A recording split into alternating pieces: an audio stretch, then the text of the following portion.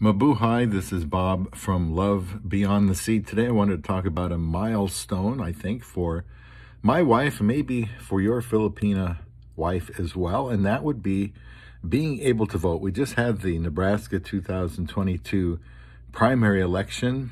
I think it was yesterday or the day before. And this was the first time my wife was able to vote. Now, she got here in 2016. I would say 2021 is when she became a citizen, and um, and then her first opportunity to vote um, and get exposure to that was um, this week. So I'm I'm very proud of her. It's a it's a feather in her cap to be able to vote. A lot of Filipinas, and not just Filipinas, women from other nationalities, um, are not in a hurry to even become citizens. We we knew an Australian woman that had been here over 20 years and had not become a citizen. Uh, another Filipina that had been here over 20 years had not become a citizen, but when she heard we were going, uh, she wanted to come with us and get her citizenship. So now they can vote too. I don't know uh, how important it is to them, but I'm I'm glad she is, and um, so I think it's a big deal.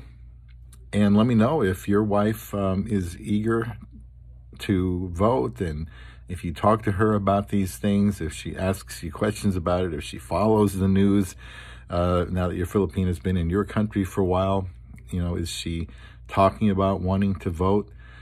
Um, I think it's a big deal because now my wife can have a voice in issues and in uh, the uh, races of um, uh, the elections that come up in the future and uh, other things that vote on once in a while, like, you know, whether to allow gambling, for example, should be able to have a voice in that. So I think that's exciting. I mean, I'll never be able to be a citizen in, in another country and be able to, to vote. I think it's important. You know, when I was younger, I probably didn't vote until I was uh, about 40 years old. uh, shameful, I know.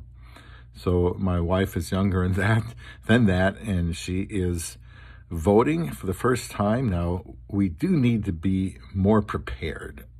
It kind of sneaks up on you.